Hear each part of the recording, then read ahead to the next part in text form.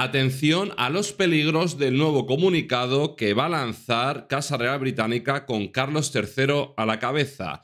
Tenemos que comentar unas impresiones que han lanzado unos periodistas por, como os digo, los peligros de este nuevo comunicado, pero tenemos que hablar de más cosas. Tenemos que hablar el motivo del por qué Kate Middleton no comunicó a Harry y a Meghan el tema su enfermedad y os tengo que poner un vídeo donde van a tratar el tema de Harry y me ha parecido interesante introducirlo en el vídeo para que tengamos la información y la podemos comentar todos juntos.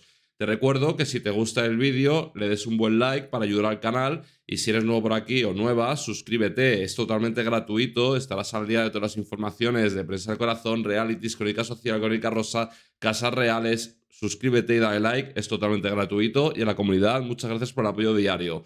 Primero vamos a comentar dos artículos rápidamente porque quiero poneros el vídeo de una periodista para ver qué opináis sobre Harry y Meghan. Vamos a comenzar. Los peligros del nuevo comunicado de la Casa Real Británica. Se les puede volver en contra. A ver qué opináis. La prensa inglesa asegura que este jueves podría haber un nuevo comunicado protagonizado por el rey Carlos III. Esto ya hemos hablado, pero vamos a ver esos peligros, ese peligroso comunicado.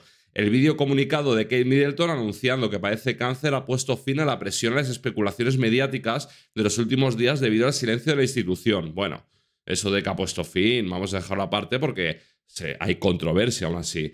El caso de que son unas imágenes en las que podemos ver a la princesa de Gales más delgada, pero con buen aspecto, narrando cómo ha vivido estas complicadas semanas. Fue un gran shock, nos dijo la princesa de Gales. El caso es que la reacción al comunicado ha sido tan positiva por parte del pueblo inglés que agradece a su casa real que cuente por fin lo que está pasando entre los muros, porque claro, había muchos meses sin Kate Middleton y la gente se hacía muchas preguntas, ¿verdad?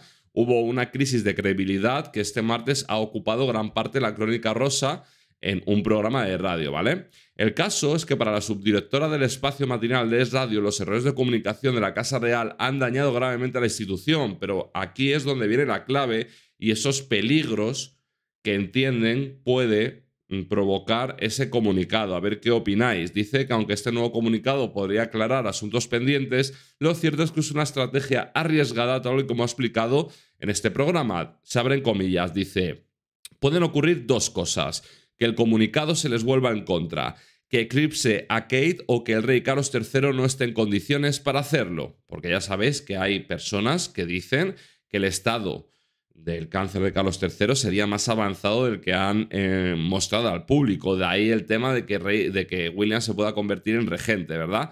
El caso es que el hecho de que el anuncio del monarca llegue apenas unos días después del de Kate podría tener el efecto contrario al deseado. No podrán evitar las comparaciones, se analizará el detalle, entre otras cosas, la propia imagen física del rey, que en estos momentos está recibiendo un tratamiento contra el cáncer o, que un vídeo termine eclipsando al otro. ¿Qué opináis de estos peligros, de este peligroso comunicado para la imagen de la Casa Real Británica, donde se podrían hacer comparaciones con Kate Middleton tanto del propio vídeo como del estado físico del rey Carlos III?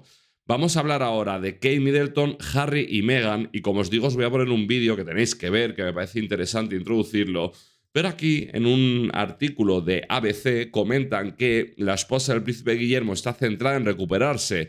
Todo lo demás es secundario. También la complicada relación entre el heredero al trono británico y su hermano, el príncipe Harry, que ya sabéis que no es la mejor, es la mejor de las relaciones, eh, Harry escribió ese libro, bueno, y Harry y Meghan han dicho cosas, pues la relación no es la mejor del mundo. Dice, es más, según publica The Telegraph, entre los planes de la princesa de Gales no está el reencontrarse con su cuñado cuando éste coja un vuelo con destino a Londres el próximo mayo. Asistirá al servicio religioso con motivo del décimo aniversario de los Invictus Games y es que no quiere que nada pueda alterar su estado de ánimo. Además, The Sun asegura que Middleton no contó a los duques de Sussex, su estado de salud porque considera que no son de fiar. Es decir, que Middleton, lógicamente, necesita tranquilidad, como cualquier persona que está atravesando esta asquerosa enfermedad, y considera que ver a Harry y a Meghan puede alterar su estado después de todo lo que ha sucedido entre ellos.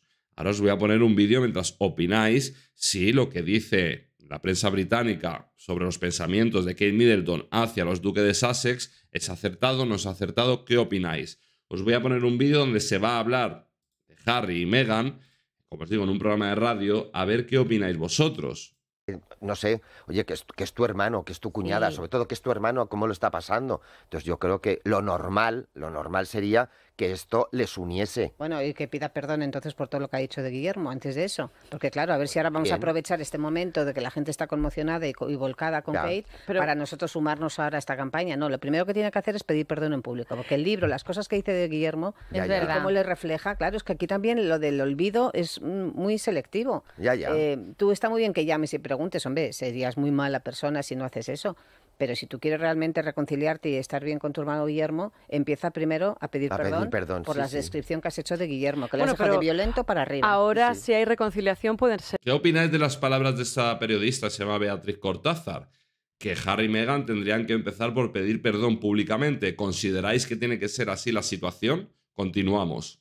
Ser un activo importante en la familia real, como lo han sido siempre. Eh, Sí, pero están en cosas Estados Unidos, peores no están en. Inglaterra. Aunque Bueno, hubiera Pues que la gente reconciliación. va a querer que venga Harry. ahora, no va a venir. Pues es que yo creo que Pues Harry lo luego no, No, el- está por lo tan visto mal son visto allí. personas non gratísimas, Sí, ¿tú nada, no quieren saber nada de cuento. ellos. Mira Twitter, me lo dicen No, estas, no. estas amigas mías de allí, es que, vamos, son... Habrá quien le entienda, que yo además siempre lo he dicho. A mí Sí. me parece que este chico es un animal herido que ha sufrido eh, Sí, lo indecible por parte de esa Pero casa, decir esas cosas la de tu firma. hermano, y de, tu- parece... y no, y de todos. Bueno, él se ha desquitado de alguna sé, manera. Ahí él no ha decidido que. se ha No querido sé, quitar de pero en bueno, la manera de- Desde el día que naciste tienes unas prebendas por, por, por pertenecer a la familia real inglesa importantes y ahora es pestes de todo. Este chico No, pero tiene que a mí el que me da pena de todo es Guillermo, sobre todo porque es el que realmente se queda solo. Él no se va a poder desahogar ahora ni con la abuela que no está, ni con su padre que es un hombre enfermo, su mujer tampoco, tiene que tirar para adelante y luego su hermano le dio la espalda.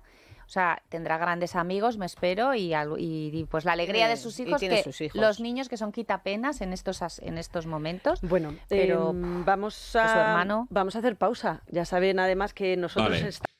Mientras opináis sobre lo que habéis escuchado de Harry y Meghan, aquí hay otro aporte que me parece interesante introducirlo en el vídeo y que lo escuchemos juntos.